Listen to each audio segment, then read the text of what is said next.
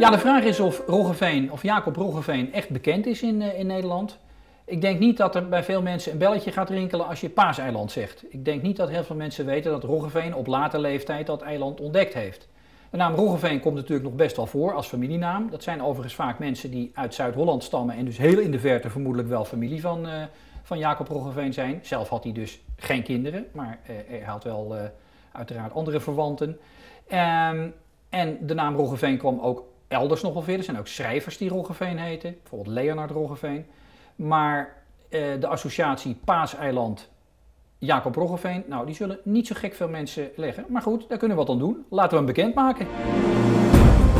Nou, van Roggeveen zijn natuurlijk een aantal zaken in Middelburg te vinden. Zijn woonhuis, de plek waar hij begraven is, een, uh, een beeld van het Paaseiland, een modern beeld, vervaardigd door de beeldhouwer Peter de Jong. En, en dat zijn allemaal sporen van Roggeveen die je terug kunt vinden. En daarnaast herinnert het Zeeuws archief ook aan hem. Het Zeeuws archief bestaat uit twee delen. Een modern gedeelte en een oud gedeelte. En het Zeeuws archief heeft iets met Jacob Roggeveen.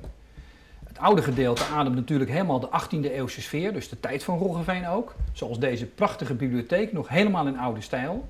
En de kamer waar de directeur zetelt met prachtige wandtapijten.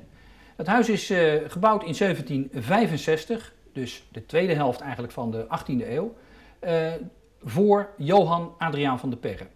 Nou, en dat oude deel, dat is in gebruik als kantoorgedeelte. En het nieuwere deel, dat is in gebruik als publieksgedeelte. En in het nieuwere deel vind je sporen terug die herinneren aan Roggeveen. Bijvoorbeeld teksten uit een van zijn logboeken op de buitenkant, de muur van het gebouw. Je vindt hem op de vloer van het archiefcafé. Je vindt teksten op de wanden van de toiletten. En je vindt de reis ook nog eens verbeeld in het depot, op de wand bij het depot. En het idee is, Roggeveen ging op zoek naar een onbekend magisch land, het Zuidland. En bij ons, in het Zeeuws archief, maak je ook een reis. Ga je ook op zoek, als je op zoek bent naar het verleden, dan maak je als het ware een tijdreis. Dus wij vinden dat perfect voor het archief.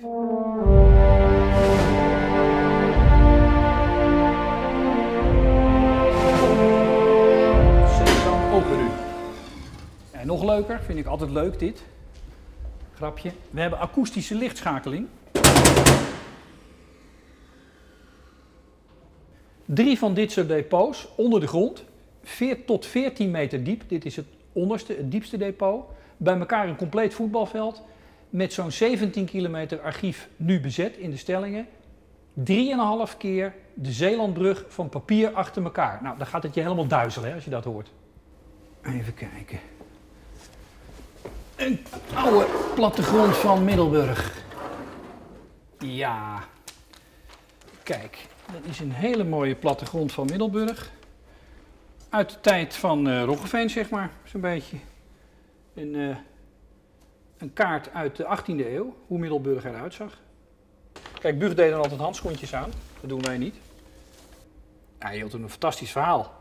En ja, jullie zeeuwen, je had het Paaseiland kunnen hebben. Roggeveen heeft het ontdekt, maar jullie hebben het weggegeven. Zo, dat is dat verhaal, hè. Grappig is inderdaad, de Gistraat, die staat hier dus op. Dit is de korte Gistraat, hier. En hier heb je dus de lange Gistraat. Dus hier ergens is, uh, is uh, Roggeveen geboren. En dan heeft hij ook gewoond op de, op de Blauwe Dijk. En dat moet dus uh, hier ergens geweest zijn. En hij woonde in de Noordstraat, dus dat was hier waar hij woonde. Dat woonhuis is er dus nog van hem, daar in Noordstraat. Hij is begraven in de Nieuwe Kerk in 1729, maar uh, het graf zelf, ja, dat is er niet, want die grafstenen die zijn een keer geruimd. Dus we weten niet precies waar hij in de kerk begraven is, maar ergens daaronder, in die bodem, moet het gebeente van Roggeveen berusten. Nou, uh, dit is de Nieuwe Kerk. Uh, de Nieuwe Kerk is in 1940 uh, behoorlijk verwoest, maar weer helemaal opgebouwd. En dit is de plek waar Jacob Roggeveen begraven is.